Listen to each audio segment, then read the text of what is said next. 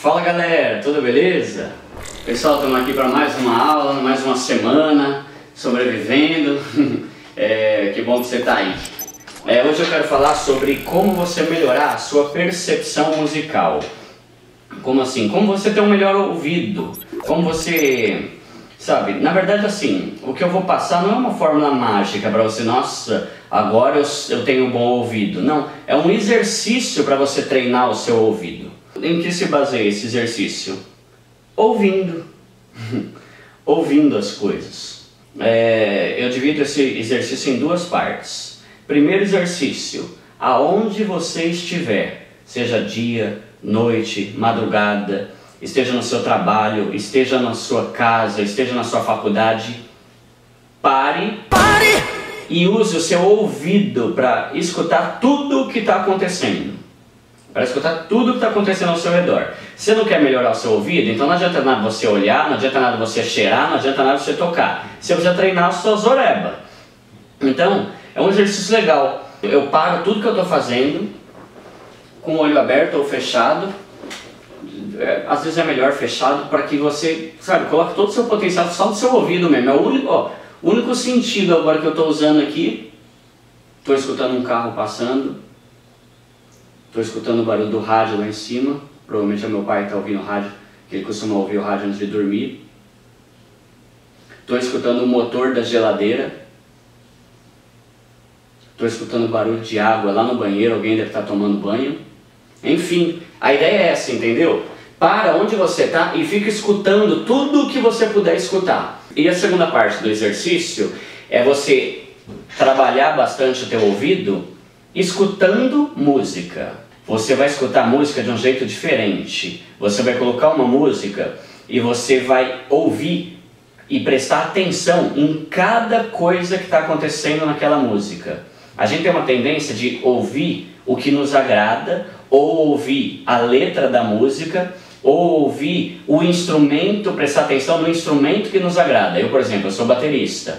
Primeira coisa que eu escuto numa música é a bateria. Só que às vezes eu não, reparei, eu não, eu não prestei atenção em mais nada, a não ser a bateria e a letra da música. E tem um milhão de coisas acontecendo ali. Repare, por exemplo, no, na introdução, como que é a introdução da música, que instrumentos estão sendo tocados ali, Repare no solo, tem solo, tem um riff, tem um, um dedilhado diferente, tem um violão só ou tem dois violões, tem guitarra. Você vai ouvir, vai escutar a música, de preferência com fone de ouvido, porque fone de ouvido melhora muito. E a gente vai fazer um teste aqui agora. Eu vou colocar uma música no vídeo, eu vou colocar o fone com você e eu vou analisar com você, tá bom? Eu vou colocar uma música minha por quê? Porque o YouTube é cheio de coisa, né? Tudo bem, é certo, né? Negócio de direitos autorais. Vocês acreditam que tem um vídeo meu que tá com quase 600 mil views e estão querendo tirar do ar porque eu ensinei uma música de uma banda que está querendo direito autoral porque eu estou ensinando a música deles?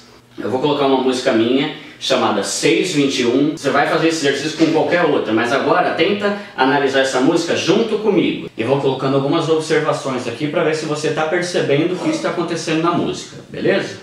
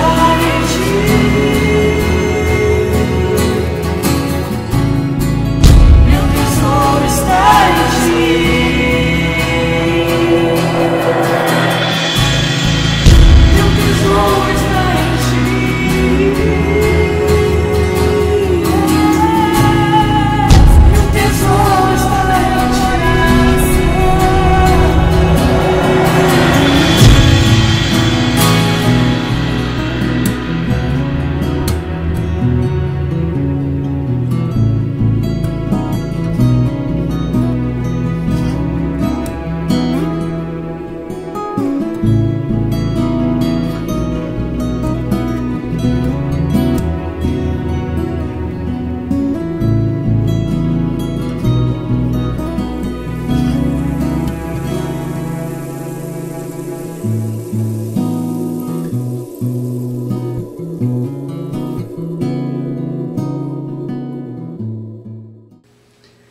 por aí vai. Você reparou que teve várias nuances na música, tem hora que tá tranquilo, tem hora que de dedilhado vira batida. Você reparou que tem três violões em alguns momentos? O que, que é legal? Você ouvir essa música de novo ou qualquer outra música, prestando atenção só em uma coisa. Por exemplo, agora eu vou ouvir só o violão base. No segundo minuto, você repara só no baixo. O que, que o baixo está fazendo? No terceiro minuto, repara só nas vozes. Só tem uma voz, tem uma voz masculina e feminina. A ideia é essa, entendeu? Seja no seu trabalho ouvindo sons da natureza ou sons ambientes, ou escutando uma música, pare e ouça tudo o que está acontecendo naquele cenário.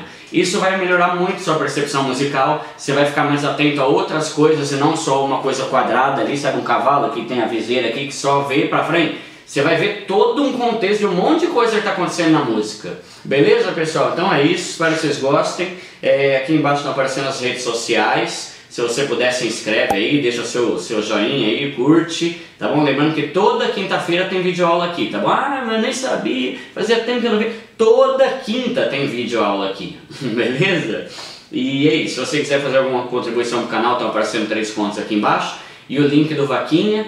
E é isso, pessoal, que Deus abençoe todos vocês. Não esqueça que Jesus te ama, beleza? Jesus te ama muito e quer participar da sua vida, quer entrar na sua vida e basta você dar um lugar para ele. E vai ser a melhor decisão que você vai tomar na tua vida. Beleza? Valeu, galera. Até quinta-feira que vem. Tchau, tchau.